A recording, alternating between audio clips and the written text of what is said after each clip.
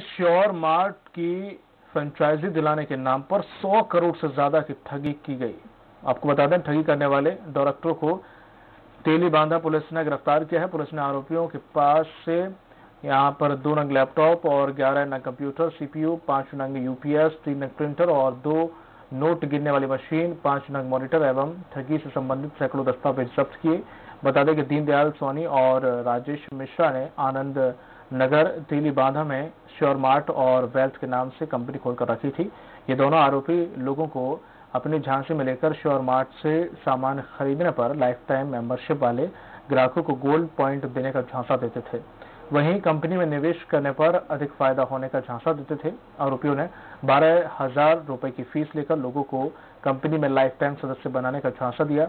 आरोपियों ने अब तक 600 से अधिक लोगों को 100 करोड़ से ऊपर की ठगी ये कर चुके हैं। आरोपियों ने छत्तीसगढ़ के धमतरी, बालोद, जांजगीर चांपा, दुर्ग और रायपुर के सैकड़ों लोगों को ठगा।